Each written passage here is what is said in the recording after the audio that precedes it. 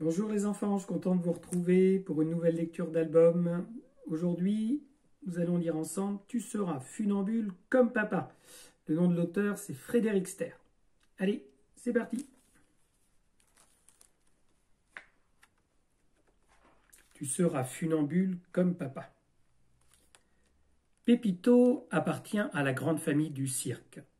Depuis que le clown lui a donné une guitare, il s'exerce tous les jours. Mais son papa lui dit toujours que musicien, ce n'est pas un métier d'ours. Tu seras funambule comme moi, répète sans cesse papa ours. Chez eux, on est funambule de père en fils. Pépito, pose cet instrument stupide. Être funambule demande beaucoup de travail, et tu ne seras jamais prêt pour notre numéro en duo. Pépito essaye timidement de dire à son père qu'il a peur là-haut sur le fil. Papa ours rit. Moi aussi j'avais peur. Tu verras, ça passe. D'ailleurs, il ne peut rien t'arriver, je te tiens encordé. Mais bientôt Pépito devra marcher sur le fil sans ceinture de sécurité. Après chaque entraînement, Pépito retrouve son ami le clown. Aujourd'hui, première leçon de violon. Aïe aïe aïe, ça grince quand Pépito essaie de jouer. Ce n'est peut-être pas un métier d'ours, mais cela demande beaucoup de patience aussi. La roulotte de Papa Ours et de Pépito est très confortable. Et comme tous les ours, ils aiment dormir et rêver. Rêver ne fait de mal à personne, Pépito peut rêver d'être musicien sans fâcher papa, et papa rêve d'un Pépito grand funambule sans que celui-ci soit malheureux. Hélas, le réveil sonne. Pépito doit suivre Papa Ours à l'entraînement matinal. Il a le cœur lourd.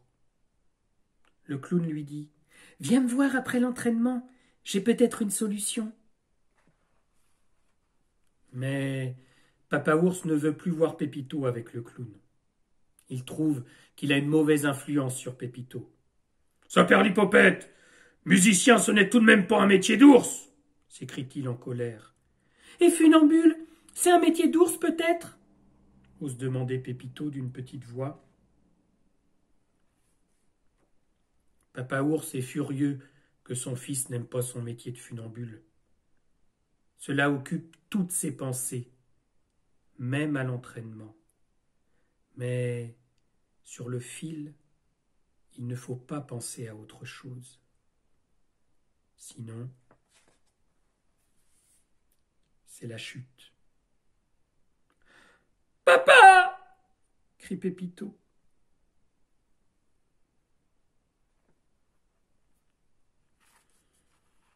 Pépito a très peur. Papa ours ne bouge plus.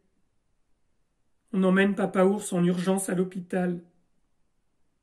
Ses blessures sont sérieuses, mais le docteur rassure tout le monde. Il se rétablira.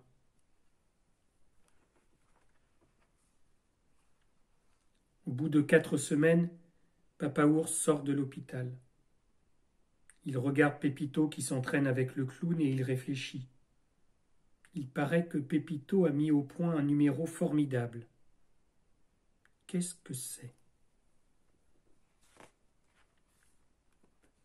Le jour de la première, Papa Ours est un peu triste. Il aurait bien aimé montrer son numéro de funambule avec son fils.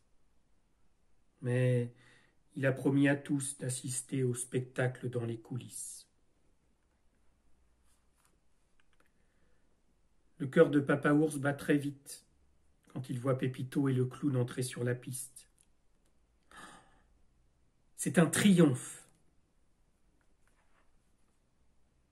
Papa, tu n'es plus en colère? Mais mon Pépito, comment veux-tu? Regarde tous ces gens qui t'applaudissent. Tu es un véritable artiste du cirque.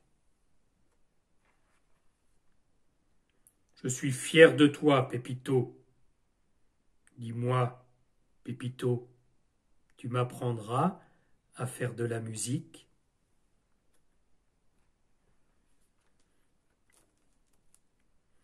Voilà, cette histoire est terminée. J'espère qu'elle vous a plu. On se retrouvera bientôt pour une nouvelle lecture d'album. À bientôt les enfants.